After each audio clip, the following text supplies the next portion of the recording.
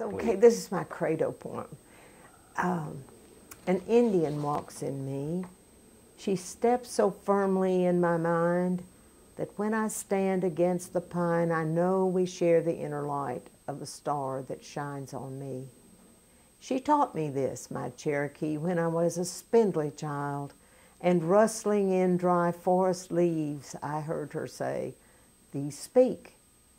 She said the same of sighing wind, of hawk descending on the hair, and mother's care to draw the cover snug around me of blackberry warming in the sun and copperhead coiled on the stone. These speak. I listened long before I learned the universal turn of atoms. I heard the spirit song that binds us all as one, and no more will I follow any rule that splits my soul.